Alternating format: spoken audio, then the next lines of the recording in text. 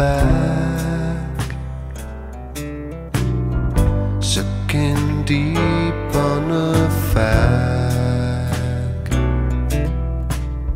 Said goodbye to the mirror, threw her keys in the river, and ran along. Took the train.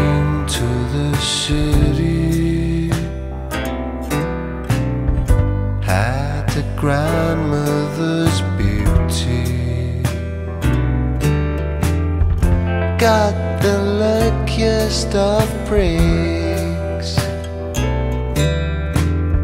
Spotted buying a rig for herself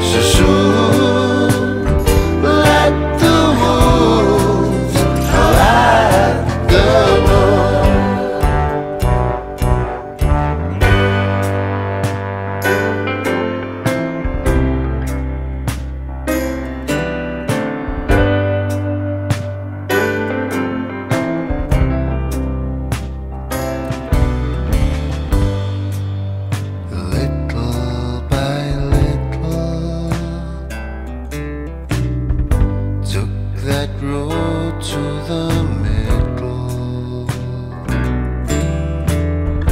No more peripheral vision. Now she's on television, making light of her past.